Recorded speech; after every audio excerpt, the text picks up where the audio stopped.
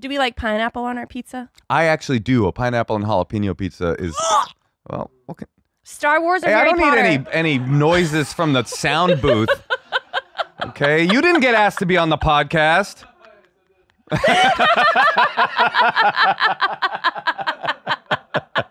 Pineapple and jalapeno is a good combo. I'm telling you.